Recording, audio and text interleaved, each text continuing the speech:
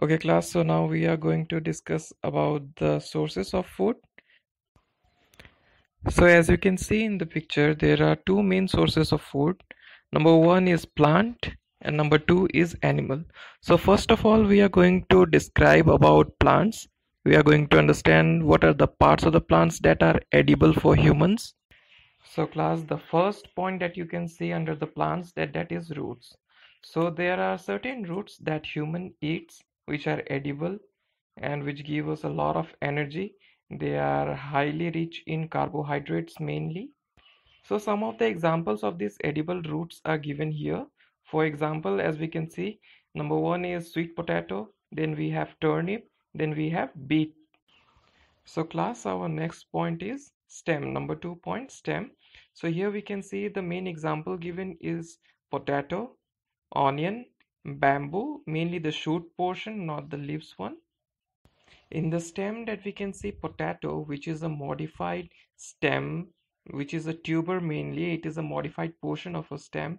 And then onion is also a modified portion of the stem.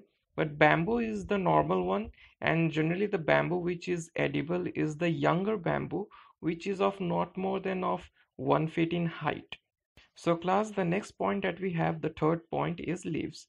And here the examples given are number one, spinach, number two, coriander, number three, mint. As we all are familiar with these three leaves that are edible and that are good for health also. So class, next is our flowers. So there are some edible flowers that we eat. For example, the pumpkin flower, if you remember in the chapter, we deep fry this flower along with Uh, other paste that we make from different things for example like rice flour or besan then we have the second example that is our banana flower which is also quite famous in all of the portion of our india. So class our next point fifth point that is seeds. For example there are many seeds which are eaten and most of them we take it as our staple. For example rice rice is a staple food in most of the states of our country and then we have wheat which is also a staple food and we take it as roti or chapati. And then we have all the pulses under the seed. That is you can say the example that is given here moong dal and we can also consider chana dal. And there are many kinds of different kind of dals are also available. So class here we come to the last point of the plants that is six which is fruits and we all know there are plenty of examples of fruits. For example if we go for mango apple orange etc etc there are many more. Now class we are going to move to the second type of the resources of food that is the animals.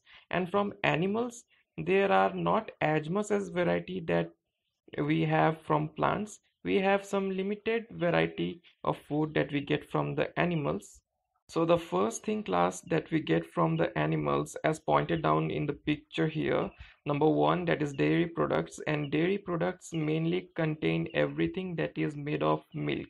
For example if we say yogurt which is also known as dahi then we have cheese we have paneer then we have many items made out of milk all come under these dairy products.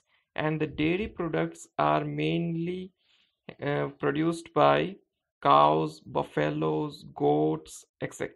In regions like Rajasthan, people also use the milk of camel to make the dairy products. So class moving to the next point that is point number two meat and we get meat from chicken, goat, duck. Class meat is a very valuable source of protein for humans. It gives us a lot of protein. That's why we include meat in our diet. Okay class, so moving to the next point that is point number three, egg. We have the example from where we get egg that is number one. As we can see in the picture it is hen then we have duck then we have geese. And we also know that the largest egg that is eaten by human belongs to the ostrich.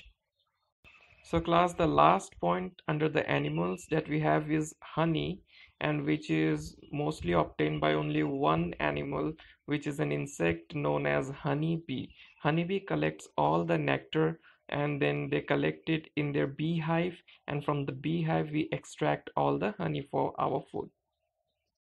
That's all for today's class. Thank you class.